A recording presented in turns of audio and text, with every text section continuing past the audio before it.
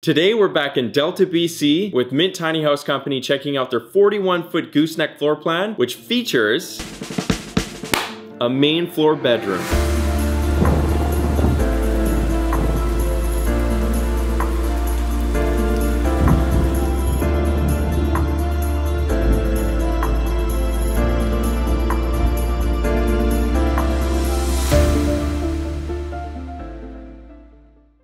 Welcome back to the channel everyone. Like I said before, today we're looking at a 41 foot gooseneck floor plan featuring a main floor bedroom. But before we get into the inside of this home, I want to take you guys outside, highlight a couple key features, so let's check them out. The home is built on a tri-axle gooseneck trailer, as you can see here by the front. And an important thing to highlight about this gooseneck trailer is that it's actually built a little bit lower than a standard gooseneck. What that means is this is gonna have to be towed with a flat deck truck. Because of that height difference, if you were to tow it with a truck with bed sides, on your first corner, you're gonna be taking out the bed side of that truck with the corner of the home. That being said, Mint does deliver these homes, so if you're not set up to tow something like this, they've got you covered. You do have two plugins located at the base of the front door. These are here for those of you who are going to be building a deck out front of the home. That way you can plug in deck lights or anything else you might need a power source for. As we come to the passenger side of the front of the home, here they've included a little storage bay. Inside of here they have it nicely finished and they have plugs included as well. Now this tiny home was built without holding tanks, but in the event that you wanted a freshwater tank, this is where that freshwater tank would go. As we come around to the front, just underneath the gooseneck portion of the trailer, you're gonna find a spot for two propane bottles and you're gonna have the heat pump, which is what is used for your mini split heating and cooling inside of the home. As we come around to the back side of the home, below here, you're gonna have access to the internals of your Truma hot water on demand unit. Next to it, you'll find your freshwater connection and two more exterior plugs. Next to the wheel well down here are gonna be your sewer outlet connections. Once again, this home was not built with holding tanks, so all of your wastewater is designed to be flushed out directly into a septic or sanitary station. That being said, if you're looking to have holding tanks built on board, Mint tiny homes can do that for you. Finally, at the back corner of the home here, you're gonna have your exhaust for your furnace, your shore power connection, and your cable hookups. The exterior construction of these homes closely resembles Hardie board, but is actually what's called LP Smart Siding. The difference between the two is Hardie board is built with a concrete-based construction. The downside of that is that it's heavier and it doesn't expand and contract well. LP Smart Siding is a wood fiber board. The benefit of that is these boards are gonna expand and contract way better, especially if you're in a climate where you see see both low temperatures and high temperatures. In addition to that, it's also much lighter than Hardie board. All of the windows on this home are dual pane as well, and if I'm not mistaken, it looks like they all open as well. So if you're in a warmer climate and you don't feel like turning on the air conditioning, you can open up all of these windows and let in a nice cool breeze. Finally, at the very top of the home, you're gonna see the roof, which is built from a metal Duraclad.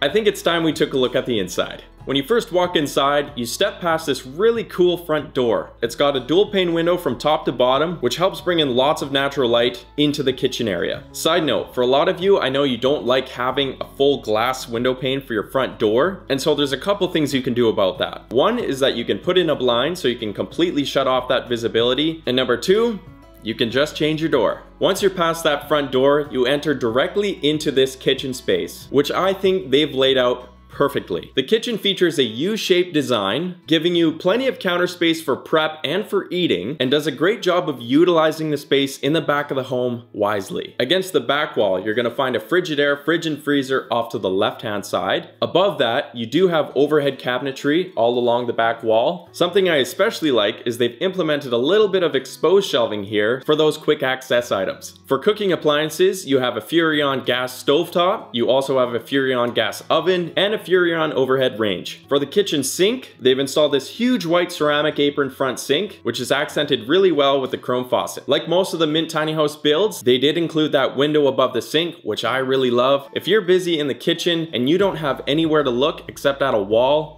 somebody did something wrong. So I'm a huge advocate for that window above the sink. Along the wall space just above the kitchen counter, you're gonna notice plugs every few feet. So if you've got your coffee maker, your blender, and anything else that needs power, you've got plenty of it here. Below the countertop, you have plenty of storage as well, with drawers that slide all the way out. They have a ton of depth to them, and one of my favorite parts is they're all soft close. This isn't something everyone chooses to install in their tiny homes, but it's something Mint does, and I love it. If I had to choose one part about this kitchen that I love the most, it's probably this mini wine rack. This is obviously a space that can be customized to your choosing. If you're not into having a wine rack, I'm sure this can be converted into some other kind of storage, but I like my wine and I love that I can store it here. Another really great design aspect of this home is these really cool rustic hanging lights. I wouldn't say they're necessary in terms of lighting, but you've got three of them overhead and it makes the aesthetic of this home way nicer. On the far side of the counter and actually where I'm sitting is where you're gonna find your formal dining area. Now I'd say you have enough room for two, maybe three people here, but in my opinion, there's plenty of space behind me in the living room, so if you had a couple extra guests, you can seat them in there and you can all eat together. Now just past the kitchen and behind me where I'm sitting is gonna be the living room. Mint has had this home professionally staged, so it's really nice to be able to get a glimpse of what this home can look like once you purchase it. To the left here, they've put in this really comfy couch and just above it, again, you get a massive window that opens and brings in a ton of that natural light. Just across from the couch is an area where you can customize to a certain degree. They've put in this cool little bar cart and you can put books and different items on top. But if this were my home, I would put a TV on this wall. And as you can see on the wall, they have included the cable and the 110 plugs, so you can do so.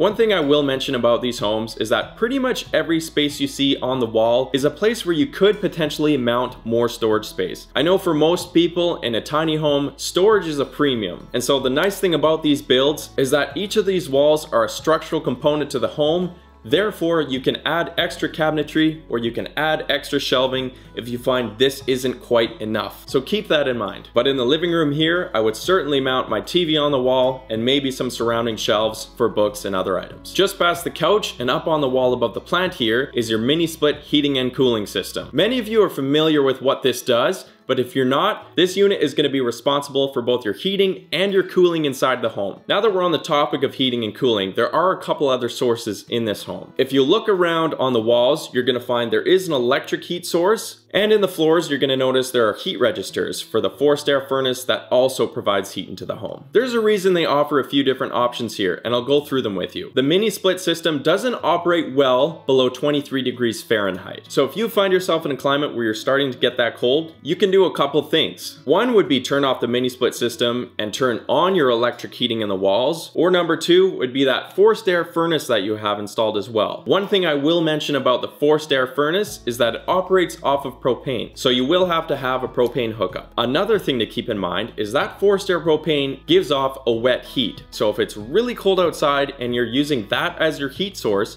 you might start to find condensation buildup on the windows. This is where that electric heat in the wall is gonna be the best option for you in a cold climate. Now, obviously, over my left shoulder here, you're gonna see a ladder, and we all know what that's for. This tiny home does come with a loft. In this loft, you're gonna find a spot for, I think this is a double bed, but you could probably fit a queen bed in here as well. You do also get some storage on either side of the bed, as well as plugs and a light switch. And for those of you wondering about the height in here, in my opinion, there's plenty enough room to crawl around and do what you need to do. Keep in mind, this is a bedroom, so you're not doing much up here other than sleeping. So it's probably not that important for you to be standing up here. But either way, I can sit up in bed just fine here, and I have plenty of headroom to go about my business and be comfortable hanging out. Back downstairs and just past the living room, you're gonna find the bathroom space, which I think is laid out perfectly. As soon as you enter the bathroom, to your left-hand side, you have a vanity, a little bit of storage below it, and a nice big mirror. Just past the vanity, you're gonna have a porcelain toilet, and on the opposite wall, you have this massive tiled shower with glass doors. And yes, this is actual white subway tile. Oftentimes in tiny homes, you're gonna find a one-piece fiberglass shower, which isn't a bad thing, that's a great shower. But this has actual tile with actual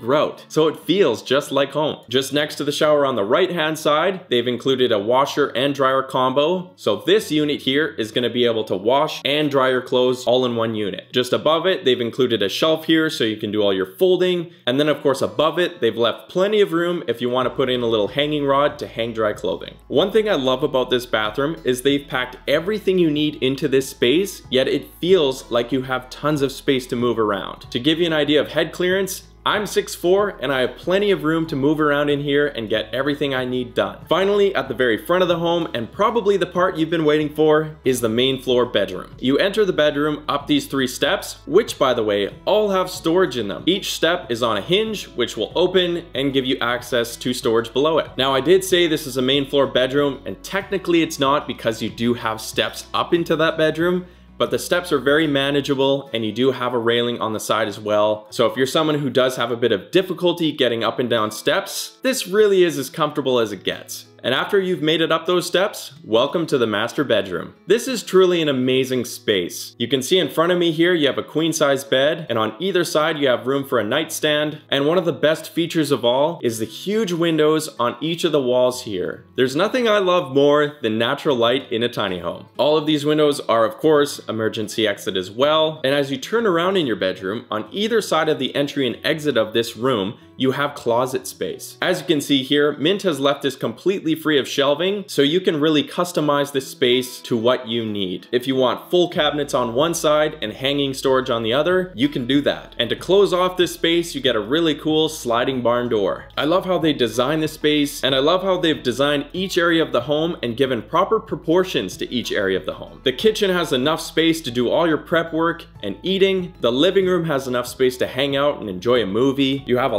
for the kids, the guests, or an office space. The bathroom is in the perfect spot right off the master bedroom. And of course the master bedroom Ooh. All of these homes are also built using certified trades. So not only does it look good, it's also built really well. And it's built to last, which is important when you're spending any kind of money on something like this. So what do you guys think? I'd like to hear from you in the comments. What do you like? What don't you like? Or what would you change? Tell me about it. And if you're someone who's interested in what Mint builds and how they build them and what they can do for you, I've left all of their information in the description below, website, and everything you need to find the answers you're looking for. Mint will have these built and shipped pretty much anywhere across Canada and the United States, so if you're interested in learning more, click the link below. Otherwise, that's all for me today, guys. Once again, let me know what you think in the comments. If you like this video, give it a thumbs up and share it with your friends. If you haven't subscribed to the channel already, please consider doing so, and I will see you guys in the next video.